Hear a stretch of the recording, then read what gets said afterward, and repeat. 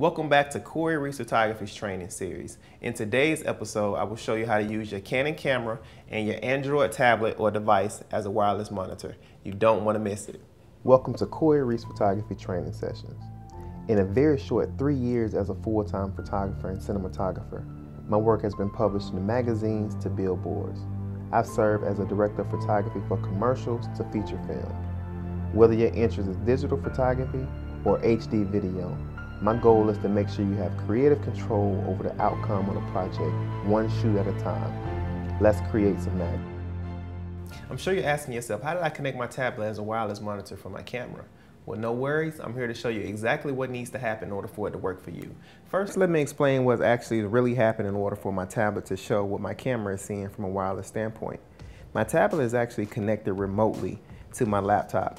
So what I mean by that, if, if you look here, if I click on my tablet,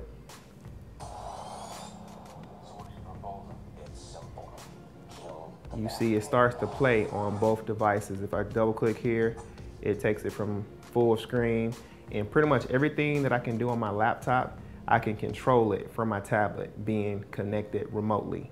So with that comes great control because the application that I found to remote into the PC, not only can you connect to your device from anywhere, even outside of your network, it allows you to play back audio and video um, close to real time from the internet connection, which is awesome.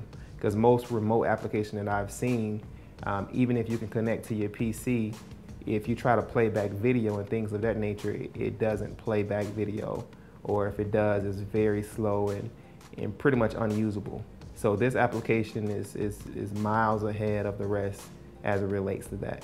First thing first is the application called Splashtop HD and their website is splashtop.com as you can see here.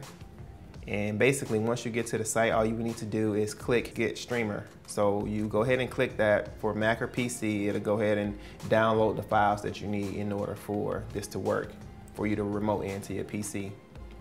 Once that file downloads, you'll see this dialog box where you'll have to create an account, which basically you put your username, uh, password, and all the things like that, and go ahead and sign in. From there, you can just close this out and this application actually runs in the background. Okay, next you want to make sure you have the Canon utilities actually installed, which comes with the Zoom browser, the digital uh, photo professional, as well as the EOS uh, utility. So what you're going to use is this particular one here. Once it's actually installed, go ahead and click on it. And once you have your camera hooked up, you will see this option here, camera settings slash remote shooting.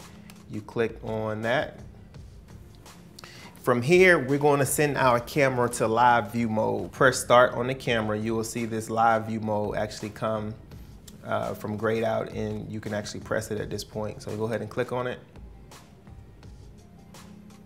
So now we're actually seeing what the camera is seeing at this point. Okay, so now you can leave the computer at this time and go over to your tablet. So when we're at our tablet, you wanna go ahead and go to the market here do a quick search, Splashtop HD. And once it come up, you're gonna download and install the Splashtop 2 HD. So go ahead and click on it and install it if you don't have it already. Once it's actually installed, you'll go ahead and click open.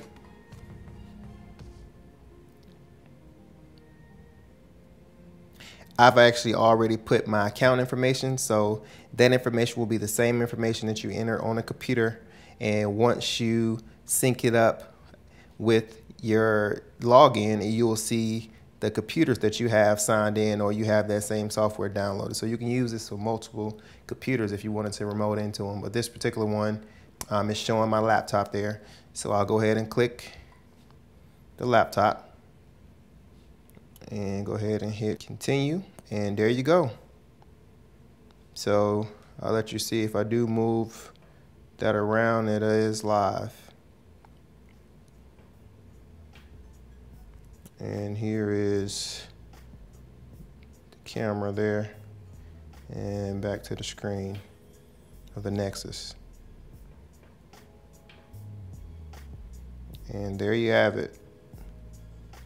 Okay, that concludes this episode. I hope you found this information helpful. Make sure you click like and subscribe. And if you have any questions, feel free to post them in the comment section and I will answer them as soon as I can. All right, signing out. Corey Reese Photography. See you next time.